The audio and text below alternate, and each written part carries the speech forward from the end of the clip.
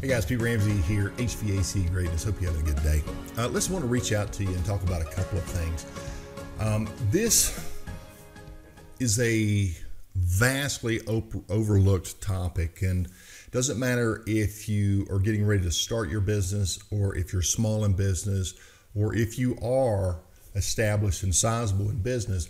Most business owners miss this, and this is essentially um, the right person for the right job. Now, what do I mean by that?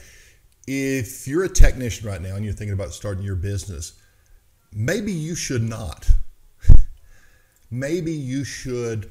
Maybe maybe your situation is that you're in a work environment that is not allowing you to uh, to be fulfilled, to to to arrive at the level that you you know that you're looking to achieve and if that's the case, it might be a situation where you need to speak with your employer and, and, make some arrangements or find another job. Or it may be that you are right for your own business and that you need to step out and do that, right? And there's ways of telling this. Now, if you're a business owner and you're dealing with that constant struggle of employees, there's people out there and they're, they're, they're getting fewer and fewer that carry the experience that you need right, to fill that role of, say, service technician.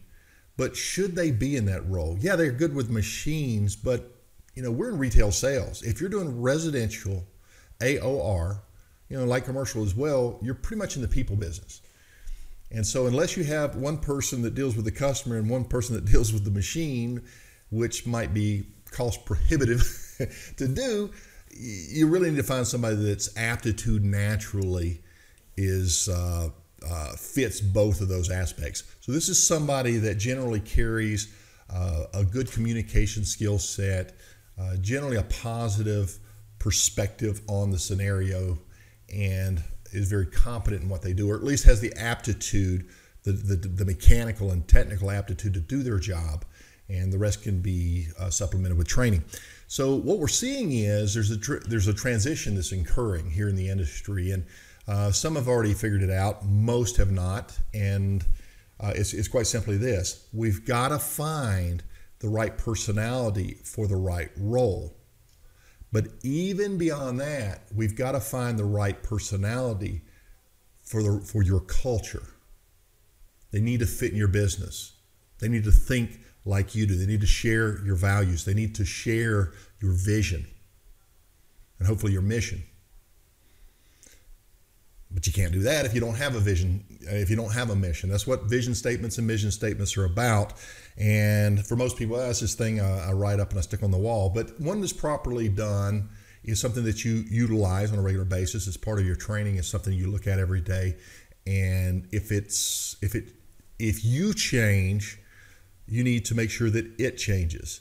But for the most part, there are certain key characteristics that it includes that uh, it's just that's just who you are. And if you haven't gone through that exercise, reach out to me and I'll, I'll share with you uh, some insights on that. But in doing that, and I, I know I'm, I'm, losing people right now because this is a little airy fairy, but you got to do this. This is what comes together for those those businesses, and you know them. They're in your area. They've been around a while. Everybody wants to do business with that company and maybe you're maybe you're frustrated. Maybe you're thinking, well, well, you know, we do better work or as good a work, right? I can save them money, but they why don't they go with us? Why do they want that other company? They're willing to pay a thousand dollars more, or two thousand dollars more, or more. Quite honestly, it's because of you. It is because of you. Now, it's not that you're not a good person. It's not that you're not a good business for them to do business with is that you're poor at communicating who you are, what you stand for, and what your business is truly about. When you learn to do this, when you learn to do this right, this will literally change the way you're branded. It may change your color schemes, the name of your company, the slogan, the logo, and certainly everything that goes behind that in terms of values and, and, and mission and, and vision and things of this nature, right? You know, what is your why? Why do you do this? Oh, Pete, you know, you know I do it. I'm, I'm trying to, you know, feed my family. Well, yeah, that's that's part of the reason. But why HVAC? You could you could feed your family with a host of different businesses. Why heating and air conditioning? What is it about that that when you think about, you get passionate about, you go, no, we are the absolute best at this or because of that. What might that be for you? Some things to think about. Now, listen, when you are hiring, I put this out to a group the other day. I got crickets chirping on this. Here's a tip. Well, how do I know the right personality, Pete? Uh, these people are coming in. What am I looking for in a, in a personality? And I'll give you one, and this one's big.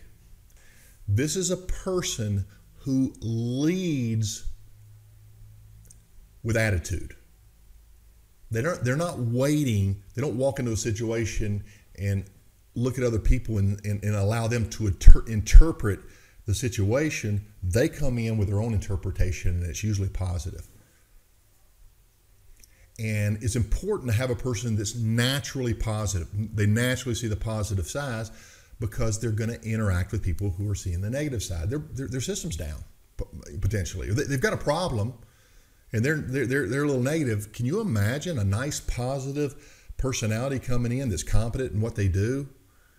And the customer throws all this negativity at them, and, the, and, and, and your technician just smiles and says, Don't worry, we got that. We see this every day we know exactly what to do. You know how reassuring that is?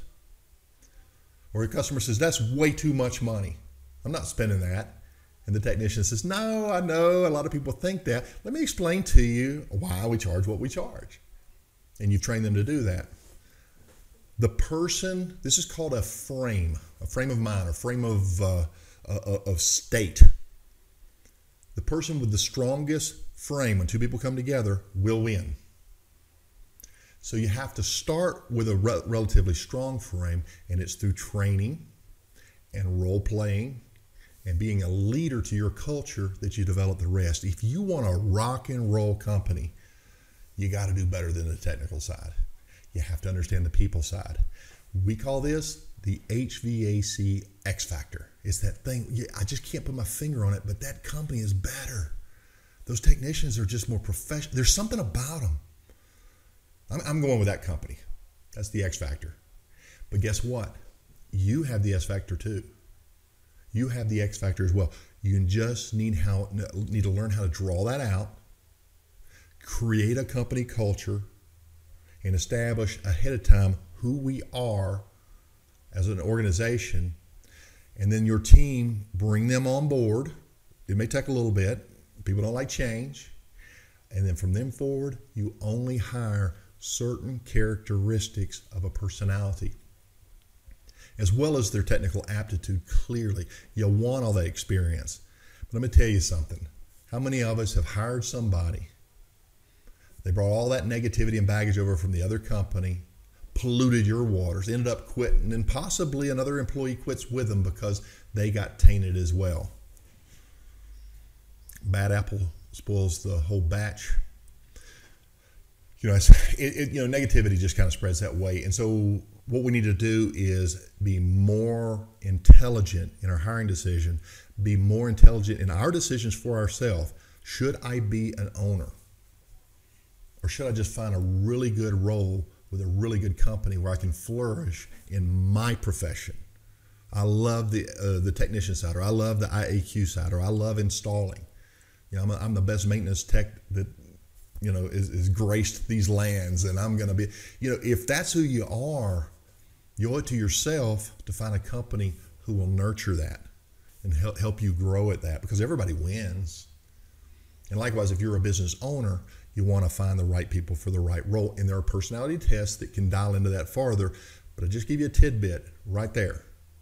You need somebody with people skills and you need somebody that leads and they decide for themselves that this is okay, this is good, in spite of what everybody else thinks. I know this is good. I see this every day. I'm a professional.